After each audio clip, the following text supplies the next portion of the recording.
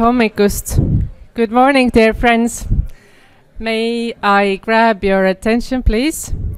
Um, good morning. Nice to see you all here. Uh, to start with this wonderful morning, and I'm so happy to see so many of you. Uh, I can see some, a couple of free seats in the front as well. Some of you who are very courageous uh, can come up here. Uh, but to start this uh, wonderful sunny day and uh, Tallinn Music Week 2014, the first person and a very special person I want to introduce to you is the President of Estonia, Mr. Toomas Hendrik Ilves.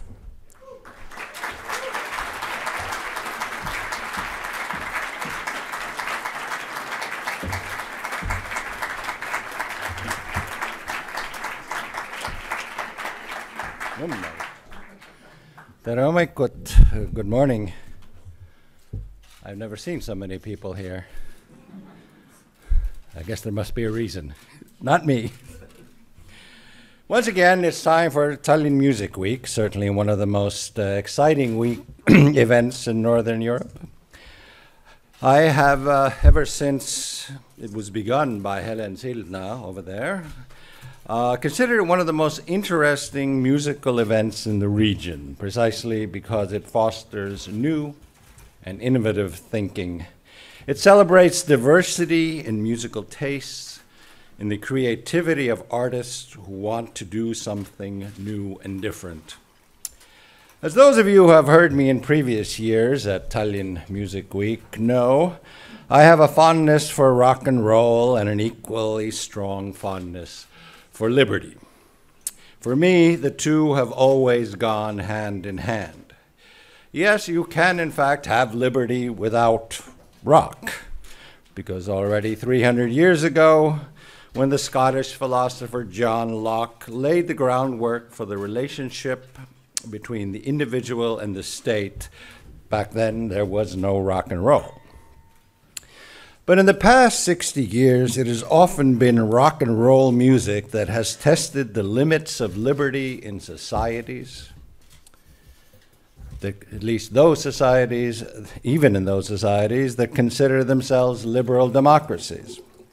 In other societies, authoritarian, totalitarian, theocratic, or a combination of these, you don't have to be a rocker to be locked up threatened with prison or even death for saying what you believe. We know this quite well in Estonia, where many people suffered without playing rock, but for speaking the truth. But rockers also suffered. Those of you not from Estonia may find this perhaps odd and difficult to understand, but here, when people wanted to be free, they came together and sang. They sang rock, they sang folk, they sang classical, sometimes they sang religious music. And hard as it may have been to believe back then, it started to work. It worked so well that today all this singing is called the singing revolution. Because, after all, the basis of our protest was music. But that misses the point, actually, because it's free expression, in our case, music, that allowed people to overcome their fear, their fear of repression, the consequences of singing or speaking their mind. Music, like other forms of art, does that. This is why the arts are often the first to suffer and also the most vulnerable to repression, because behind any act of real art, and I'm not talking about state sponsored, state initiate, initiated so called art, of which we have all kinds of examples left over from the Soviet Union here, but real art. Any act of real art is a denial of the status quo.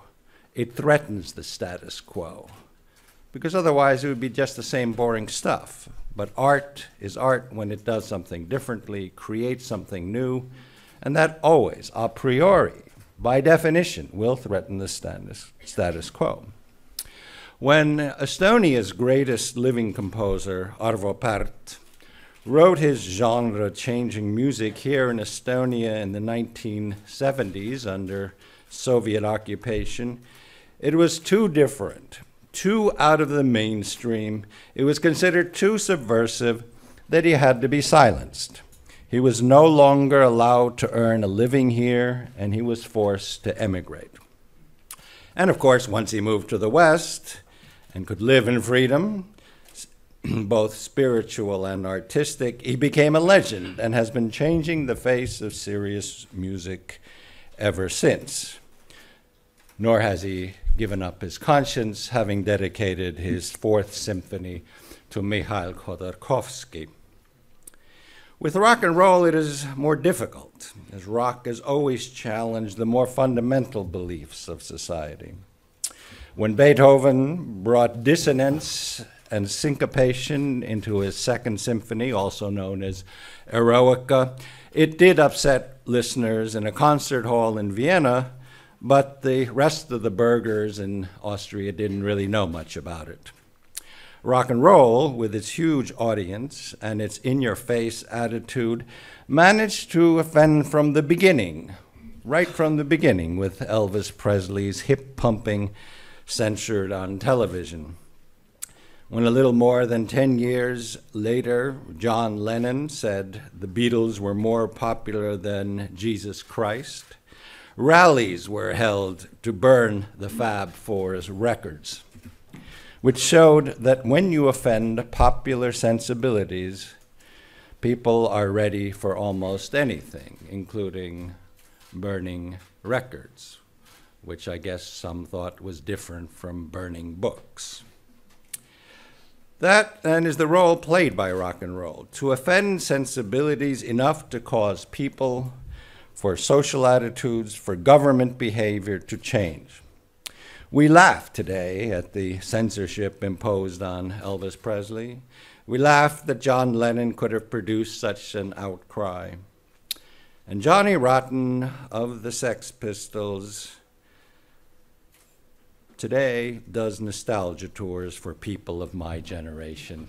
I'm 60. Sensibilities change, which means that we change. Yet this holds true when we are dealing with societies that value the individual and his or her right to free expression. Where today we see more and more of a clash is where different concepts of the rights of the individual come into conflict where societies wish to impose their own, often collectivist concept of rights on other societies, on other people. I think the first example of this in recent times or modern times was the fatwa pronounced against Salman Rushdie, who some 30 years ago playfully retold the legends of his own religion in a novel in an artistic and unorthodox way. But some self appointed arbiters said they were offended and decided he had to be killed, even though he was living far away in a free, liberal, democratic society that was based on freedom of expression. Fearful his own government, that is to say, Salman Rushdie's own government, as a British subject, tried to distance itself from him. Since that time, we have seen a number of cases where people who say things make films or draw cartoons or write books that offend some collectivist sensibility have been killed or marked for death because they say things that supposedly offend one or another group. This strikes at the core of the ideas of the Western Enlightenment.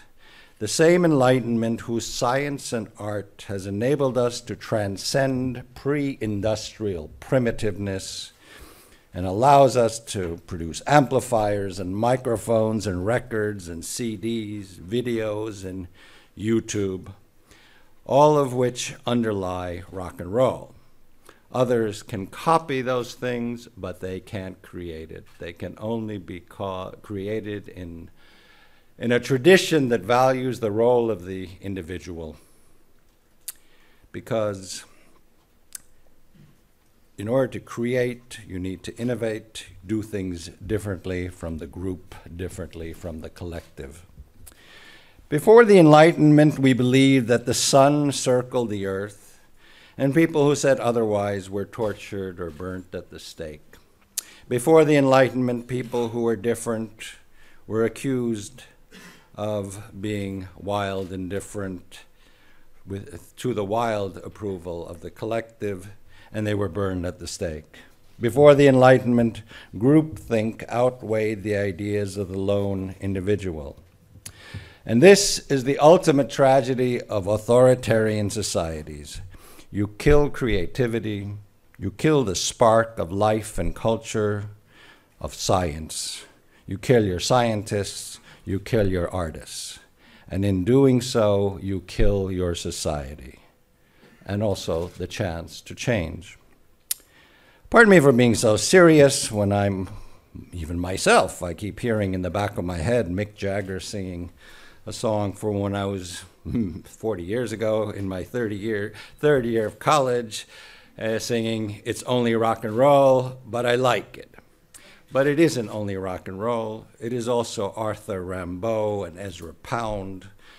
It's Arnold Schoenberg and Vladimir Mayakovsky. It's Lou Reed and Salman Rushdie and Robert Mapplethorpe.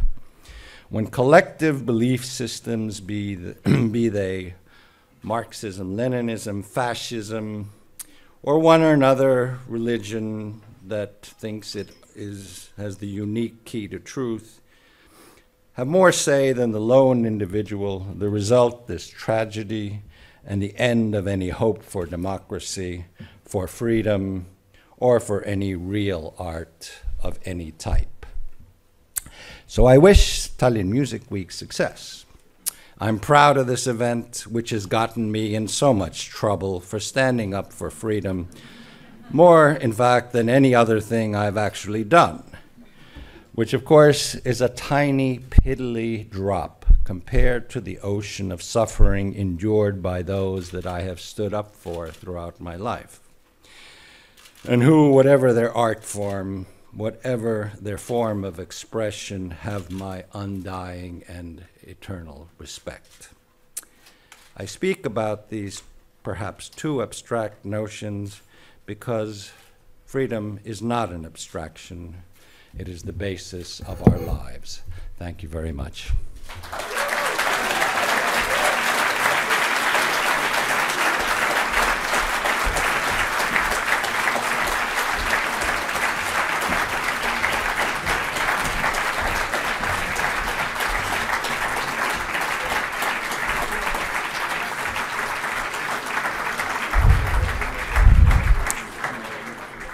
Thank you to Mr. President. Um, this was a meaningful moment, as it always is when he speaks.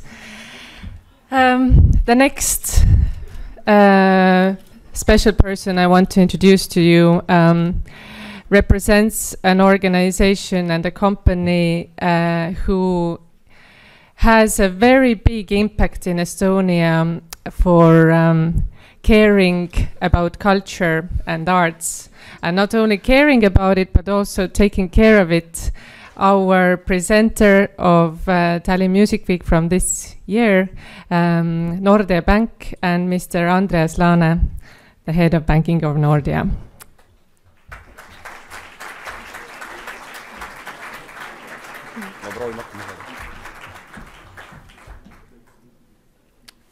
tervist, daamid ja härrad, ladies and gentlemen honorable president, somewhere he is, all the music fans and enthusiasts. I had a dream when I was about 13 years old. I wanted to perform on uh, small and big stages. I hence wanted to be a singer. My mom at the same time said to me, Andreas, I love you very much. And I know that you have a very nice voice, but uh, please stick to figures please. When the mom says please twice and I love you in the same sentence, you better listen to him. And I stuck uh, with figures and I become a banker. One thing, of course, was that I was totally out of tone and didn't have any rhythm as well. So she was, of course, right when giving this advice. But anyhow, today my dream has come true.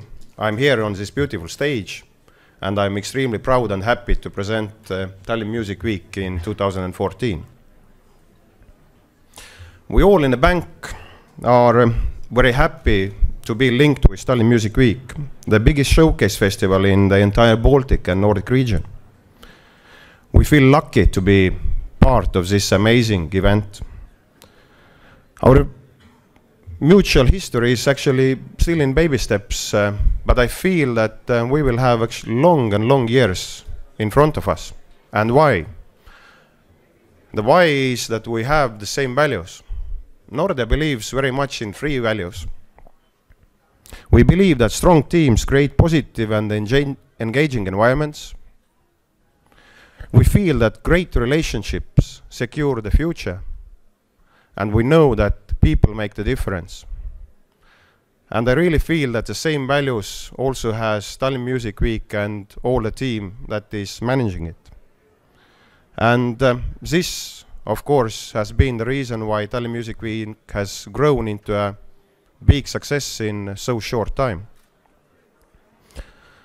Tallinn Music Week is not only an Estonian event, but it's also an event that um, brings international success into our culture and, and music. And I think um, the international success, of course, is very, very important for Estonia as such. So, um, being part of this success is a thing that, uh, or is a key element in our relationships. One of the topics today is related to the challenges of creating pan-Baltic music um, market and contribution of music into the economic growth in general. I'm sure that uh, all the different people here with different backgrounds, nationalities and culture, with the knowledge sharing, with the failures and success stories, can find very good solutions for the problems of this type. And I'm sure that if we can find a solution for our music export, then actually we can find solutions for all possible problems that could face us. And therefore, of course, I'm very optimistic.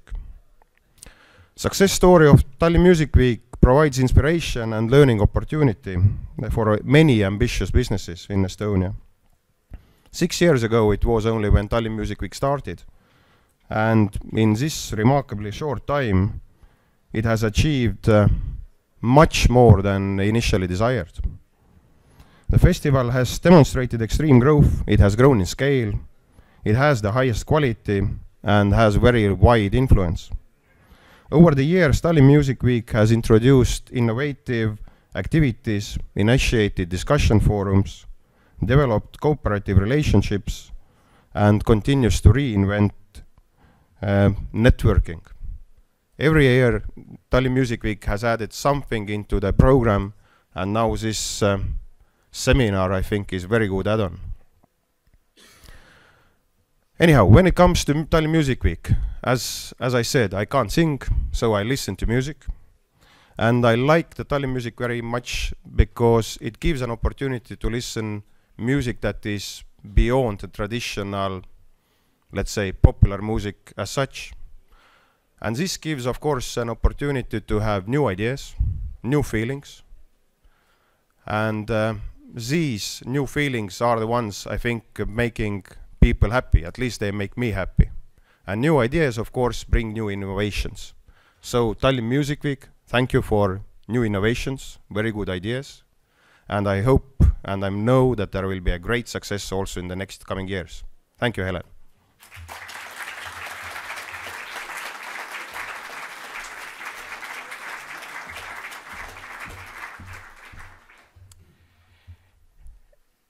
I really encourage you to come in the front and find uh, the seats here. Um, and uh, this this is a time uh, for me to say a couple of words to you as well.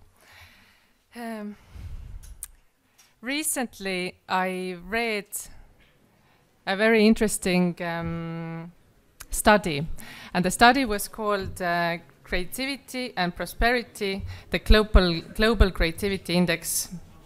And um, what the study was doing, it was uh, doing a research in uh, 82 different countries, and the main key things it was studying were technology, talent, and tolerance.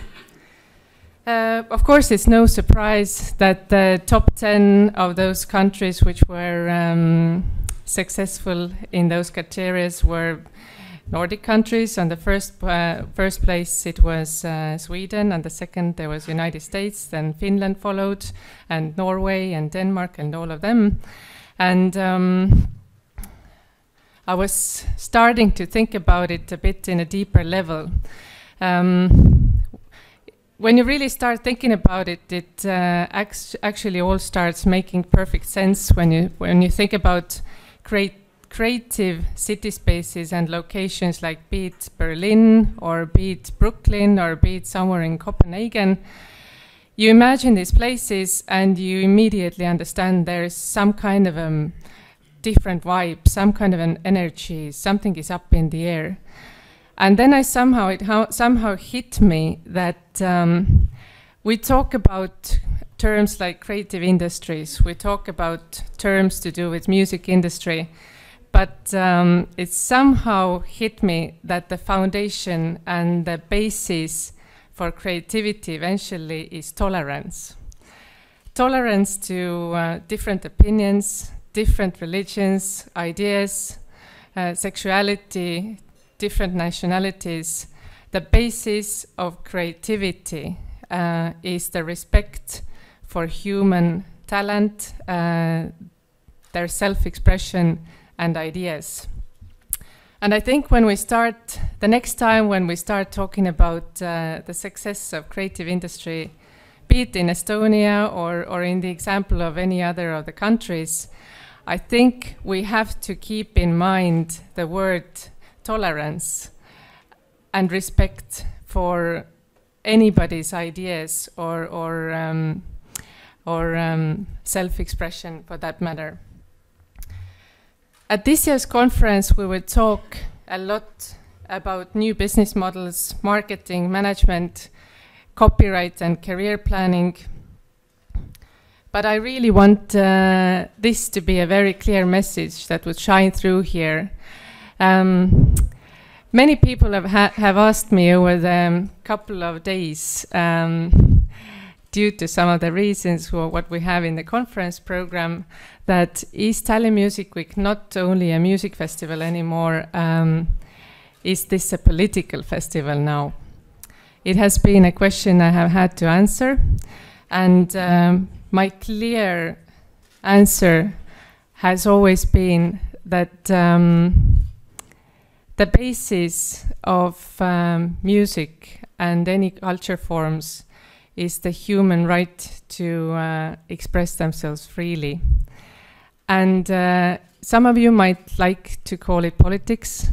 I personally call it the very basic human value. And who else than us working in a creative se sector and considering ourselves to be creative people, who else should actually stand up for it if not us?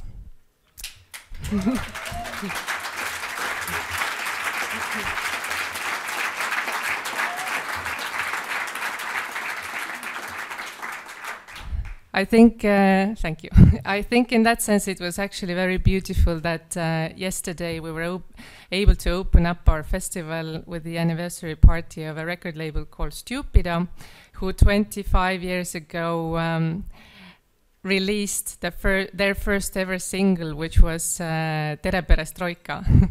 it was uh, um, released in 1989 uh, still at the time of Soviet Union in uh, Estonia. Um, the single single was by JMKE, EMKO, as Finns would know it, and by Villu Tamme. And I think it's exactly the same type of a situation. Would we ask today, Villu, are you a politician? No, he was just uh, standing up for his views. And I think it's, it's somehow a beautiful kind of a motive that uh, that record label basically started out by signing an Estonian act, and it was a first European and uh, international record label that was ever able to to sign an Estonian talent. Um, I encourage you all to use this opportunity at Tallinn Music Week to really dig deeper into the meaning of understanding each other. We all know what the situation is right now, and I think for us, uh, the Estonian community living here, we really have to dig deeper also into the layers of really wanting to understand our Russian speaking community, our Ukrainian community, and I think gathering all up here today gives us that opportunity. And when um, the next people to conquer this stage will be um, the cultural leg legends like Artyom Troitsky and Alexander Cheparukhin from Russia, uh, joined by the girls from Pussy Riot, then please use this opportunity to ask them the questions that you have. Use the opportunity to understand them, to exchange views, and to really understand and respect. We don't have to agree with everything, right? Uh, but we definitely have to um, respect and listen. So th this is basically what my, my hopes are for Tallinn Music Week. Of course, it's still a music festival. It's fun. Um, there are lots of shows and concerts. There are lots of amazing people. I mean, I'm so genuinely happy to see you all here. Um, but uh, eventually, I think uh, we, we really need to take this seriously. We have to stand up for the ideas we believe in, but we also have to have fun. and uh, there, there are a couple of um, very special people here I definitely want to point out and say my thanks to. First of all, um, the President of Estonia, and you see the reasons why we really love and respect him, right? um, he has always been uh, a role model for standing up for the values of democracy, and I do respect that. And there's another person here I have a huge respect to. He, he sometimes is called um, uh, well, at the time when he was the Minister of Culture, he was called the Rock Minister at some point, Mr. Rein Lang. and um, I have to say, completely subjectively, he is definitely my favorite Minister of Culture so far. he he has um, helped us a lot by believing the rock and roll culture. We all believe in that. Um, but also, um, when I introduced uh, Andreas Laneher, Nordea Bank, then uh, their views represent something in a society which is very important if you want creativity ex to exist in your society, then you have to nurture it, value it, but you also have to invest in it. This creates the type of a society that we all want to live in. And thank you for Nordea Bank in actually doing that in Estonia in a beautiful way. As always, we're happy to be, be here at uh, Nordic Hotel Forum, which has been our home for us for six years already. We thank our wonderful partners, Estonian Mobile Phone and Skype, and um, InfoAuto and Saku and Tuborg. But my biggest thanks uh, again goes to my wonderful team, who is basically my second, sometimes even my first family. uh, so they're all amazing people. And um, I really want you all to come and meet us all of us to talk, all of us to understand each other this week and have fun. This catalog here, by the way, is something that you definitely all of you need. It describes everything you need to do over the weekend. There are 17 best restaurants in town we recommend you to see. There are um, concerts in atmospheric cafes and city spaces. There is, of course, the festival that contains 224 artists all over the world. So basically experience um, everything you can in Tallinn and um, my message is let's just love each other. Thank you.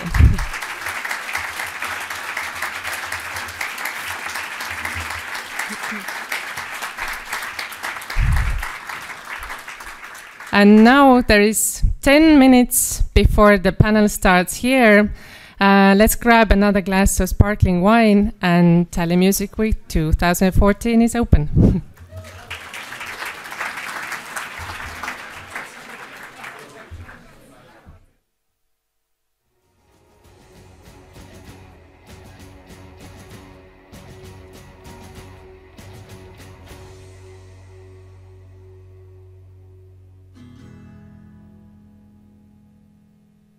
kus iganes sa näid, kus iganes sa oled, mu soovide ajal.